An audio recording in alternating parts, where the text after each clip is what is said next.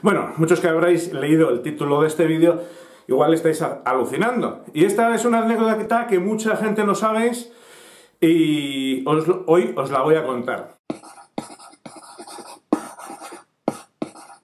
Muy buenos días, soy Emilio García, periodista, director de La Bañeza hoy y bueno, llevamos aquí semanas, meses contando anécdotas de este periódico que cumple 22 años de historia y una de las eh, menos conocidas, bueno, si, no, si estas cosas no las cuento yo no las hubiese sabido nadie.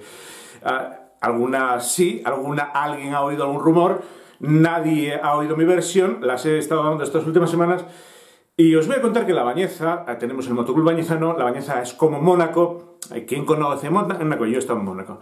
Mónaco tiene unas calles que cierto día se dedican a eh, trazado de un circuito urbano para coches. La Bañeza es lo mismo con motos. Esto pasa desapercibido en muchos sitios de España, pero somos el Mónaco del motor. Y bueno, cuando yo entré aquí con este periódico estaba el Partido Popular, eh, no me dieron publicidad nunca, le dieron un anuncio al, periódico del PSOE, así somos.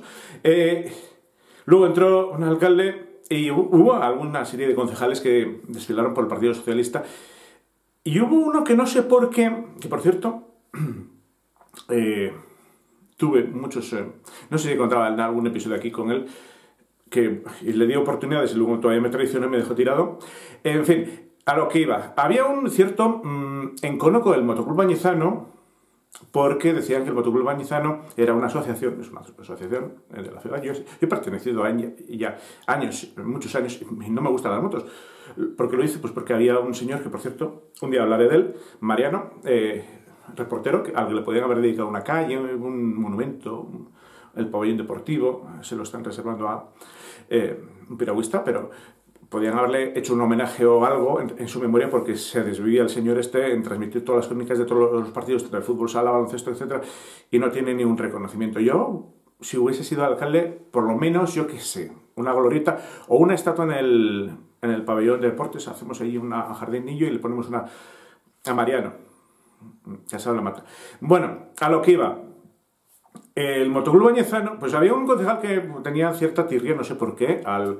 Y yo publiqué incluso una entrevista a una persona que quería, que criticó ciertas cosas de esta asociación, que me parece muy bien. A ver, yo puedo ser una asociación y puedo criticarla, igual que critica el PSOE siendo yo del PSOE, y tú puedes eh, estar a favor del motoclub y puedes criticarlo. A ver, una cosa no quita la otra. Que hay gente que dice, ¡oh, qué periodista! Eh, que, criticas a tu propio partido. Digo, pues claro, como tiene que ser, yo soy independiente y tiene que ser eh, mira, otro día os contaré. Pues la, de. Eh, cuando la presidenta de, natación se enfadó conmigo cuando lo de. Os conté, me parece que ya aquí episodios atrás, lo, lo del auxiliar de deportes. Y digo, ¿y qué? Enfádate conmigo. Y ya no me, no me, mandas la noticia de natación. El de, el de salvamento y socorrismo, no sé, el presidente o el fundador, se enfadó conmigo porque por el tuit este de la bici, no sé si lo el de la, de la bici que lo he contado, si no os lo he contado, ya os lo contaré, me lo preguntáis en comentarios. Bueno, a lo que iba. Y, luego pensaba que no lo iba a publicar. ¡Ah! Y digo, yo, te publico todo, a mí que me, importa que te lleves mal conmigo. El periódico es el periódico, publica. ¿Qué, pasa? ¿Que no te voy a publicar a los niños que hacen de salvamento y socorrismo? No, no me lo manda, pero lo publico. A ver, eh, el deporte es el deporte. Me ha pasado también con varios... La ciudad es un poco rara, ¿no? Ah, eh, un amigo mío que quería, el que os comenté de la página web del carnaval. Digo, ¿te enfadas conmigo? Yo publico todo, a tu madre y, a ti, lo que me haga falta. o sea, eh, se llama independencia. Ya sé que esto no se estila mucho en periodismo, pero eh, que tú te enfades conmigo, me odies, o, o, yo te odio a ti o me estoy enfadado contigo, no quiere decir que yo tengo que publicar todo, porque soy periodista independiente. Y ya me puedo llevar súper mal contigo como persona, como presidente. Pero los chavales de tu club no tienen la culpa. Bueno, pues yo del motoclub he puesto una versión y he puesto otra. He ido a las ruedas de prensa, hasta el trip a Advisor de León, que era el único que estaba. Luego no voy a ninguna parte, ¿no? Pero el único medio local que fue, que por cierto les dieron caña dice, joder, mm, el, motoclub de la Bañeza hace una rueda de prensa en León y en un hotel. Bueno, a lo que iba, pues había cierto concejal del ayuntamiento que le tenía en el, entrecejo al, al motoclub bañezano porque le tenemos que dar 10 millones, sí, de pesetas me parece que era, para organizar la carrera el último día, nos, la, nos piden así, 60.000 euros. No, no nos lo justifica, no sé qué. De hecho, hubo un año que hizo la carrera, la organizó el ayuntamiento a través de uno de, una, de Valencia, no sé qué, porque el motoclub se va a hacerla. Y aquí viene la anécdota que no sabéis nadie. Fíjate que me han pasado mis cosas con el motoclub, que podía estar cabreados con ellos porque no darme un peto, me, me esposó en la Guardia Civil, y me puso una multa por una foto. Tuve también un accidente en el, en el circuito de, que hacen ellos, del motocross. Me corté la oreja porque me resbalé en, el suelo porque tenía unos charcos por esquivar un charco me acerqué a una valla y bueno, di que me atendió el médico del circuito, pero tú sabes cómo se era una oreja, parecía un cerdo. Por hacer una puñetera foto, luego dicen que no voy a los santos y que pongo fotos de archivo, y dije, ¿cómo no me quiere cortar las orejas todos los años? Y jodí una cámara, eso tampoco lo sabe nadie. Eh, una, la primera cámara que compré, que para mí 60 euros era mucho, eh, con el polvo de las motos, del motocross, le entró polvillo por los agujeros, yo que sé por dónde tiene, y eh, bueno, habréis oído que vídeos que hacen eh, parece una caña de pescar que estás, pues cuando hago el zoom se oye todo eso porque tiene alguna grana de, polvo que se metió. Bueno, yo no odio al motoclub bañizano, y es más, salvé al motoclub bañizano de la quiebra, porque alguien quiso eh, estuvieron por detrás eh, para que no existiera. O sea, hoy la ciudad podría haber perdido las motos y, podría no tener motoclub y podría no, tener carrera de motos eh, y, nadie sabe que esto. Yo no sé qué pasó. A ver, uno es autista. ¿Qué significa ser autista? Que yo no me entero de la misa a la media, muchas cosas, pero que de otras cosas me entero de más. O sea, hay cosas que muy evidentes para ti que yo no las veo. Y hay otras cosas que no las ve nadie, pero que las veo yo. Y como siendo autista, vi yo allí que le querían mm, eh, plantar, una trampa. No sé si se dice así. Eh, sí, hacer una trampa al motoclub bañizano y además el motoclub bañizano picó.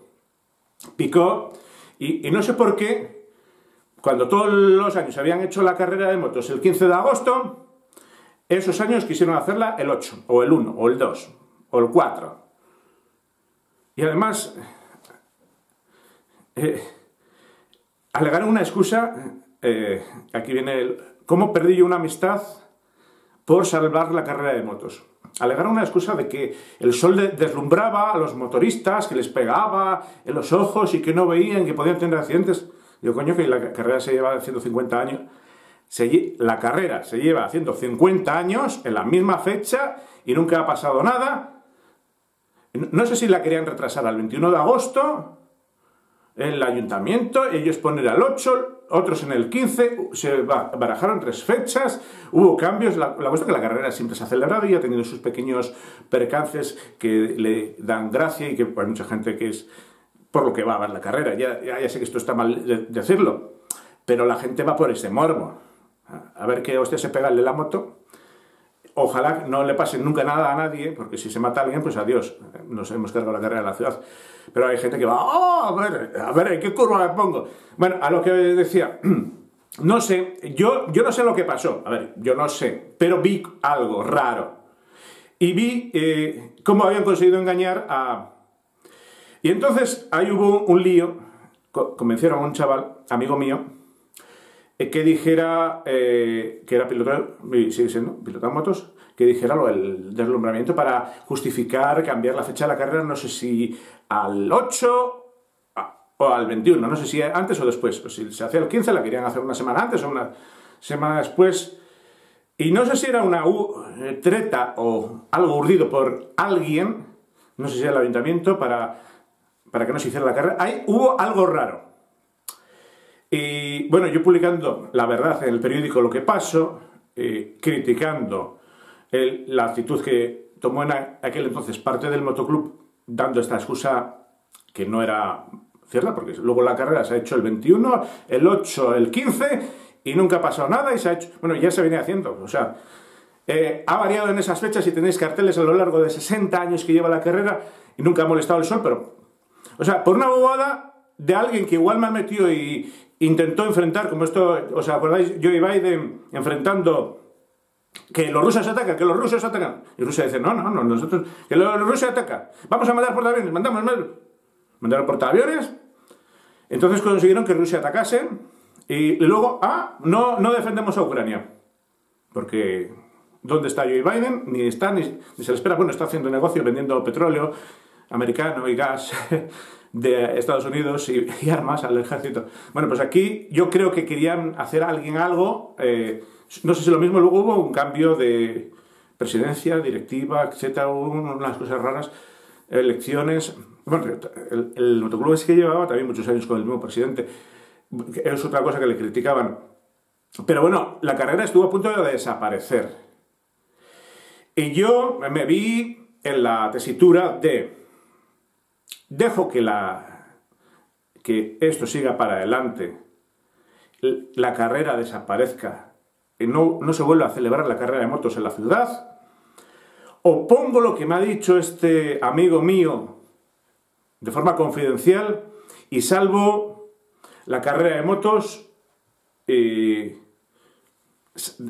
desbaratando el enredo que hay dentro o, bueno, o, asomando parte de él de, de, algo que está pasando ahí, que igual lo quería coger a alguien como excusa para justificar quitarle la concesión o la adjudicación o la organización de la carrera, que por cierto un año no la organizó. Y yo creo que el motoclub picó en la trampa y cayó en la trampa. De hecho, hicieron juntas y asambleas para... No, no vamos a hacer... Consiguieron forzar a la gente a decir que no, no vamos a hacer la carrera. Allá. Entonces el ayuntamiento dijo, la organizo yo. Y aquel año la organizó él. Eh, esto es como yo iba Biden.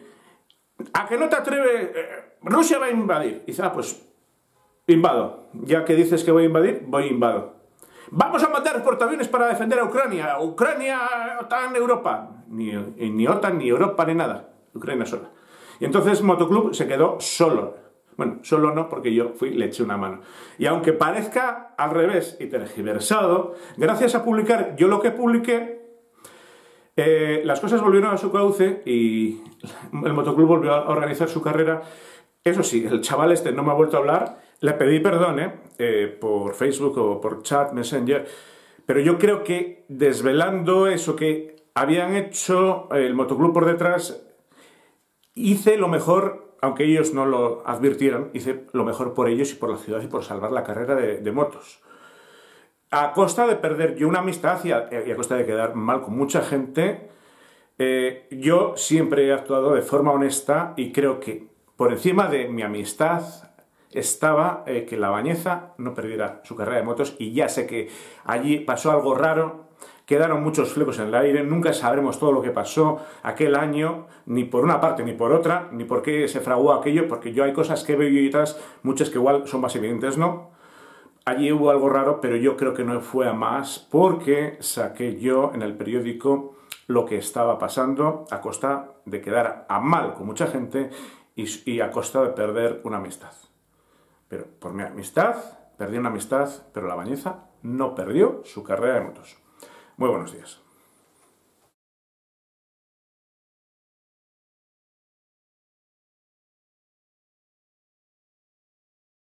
Si te gusta nuestro canal y quieres seguir viendo más vídeos como estos, suscríbete.